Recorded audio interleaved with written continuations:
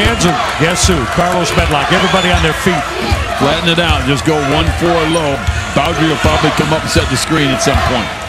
Going to bring it over, set the screen, let Medlock come back to his left hand. Akron trapped it. Higgins for three in the lead, and he will stick it. No timeouts, Akron. McNees to tie it.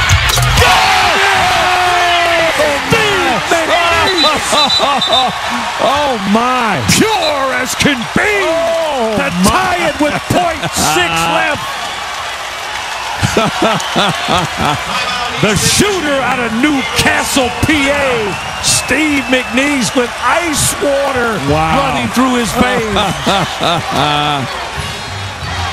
Unbelievable. How cool is that? I mean, you got, watch this. Ball movement there. The three ball in the corner. All cut and that time by Higgins, his fourth. McNees, a step back. Oh, my. Over, Over. Brandon Bowdry. Absolutely. Wow. I mean, you're getting, first of all, Higgins is shooting that ball over the fingertips Well, watch, Marshall. watch Bowdry close here. Yeah, yeah. That's 6-7 closing. Yep. Wow. Off the wrong foot. Yep. The step back three from McNees. Four for four from beyond the arc is McNees, and none bigger this season than that one.